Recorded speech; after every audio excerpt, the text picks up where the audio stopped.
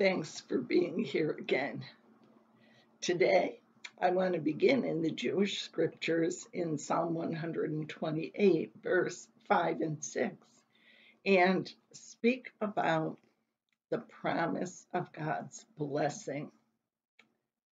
And this is part of a psalm that talks about the happy home of the faithful people.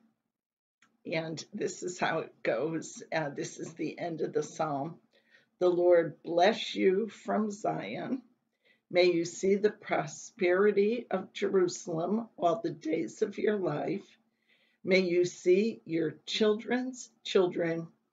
Peace be upon Israel. Now, this is part of what are called the Song of Ascents. Remember, Psalms are songs, the Jewish songbook. And as the people would go to Jerusalem for the various feast days, as they traveled up to Jerusalem, they would sing these various songs as they ascended to the holy city. And this is part of one. They're singing a blessing upon each other and upon all those going up to the city. May you see the prosperity of Jerusalem. May you see your children's children. That's a long life with many grandchildren and that you get to enjoy them. Peace be upon Israel. And those are reflections of the blessings of the Lord. Now, when we get to the new covenant in the gospel according to John chapter 10, verse 10, listen to this verse. Now, this verse is Jesus speaking. And he says, The thief comes only to steal and kill and destroy.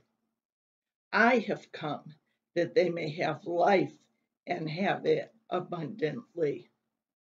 So the thief here um, is a reference to evil and evil that comes in our lives. And specifically, very often, the scriptures, especially the New Testament more than the Old, gives an anthropomorphic twist to evil by naming evil as the devil or Satan or the evil one. And I believe that's a, a representation of evil forces that come into our lives. But what happens when something bad comes to us is exactly what he said it will steal uh, not necessarily our possessions, but maybe our joy, maybe our health, maybe a loved one is taken from us to kill and destroy. But here's the blessing Jesus said, I have come that they may have life and have it abundantly. We can rely on these promises of the Holy One in our Bible, we can know in our own lives the blessings of God.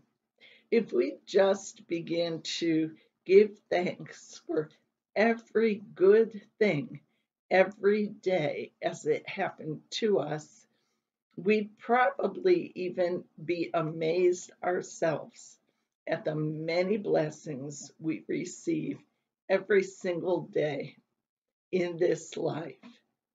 So I hope today that as you think about your life, that you'll think about all of the blessings that we have.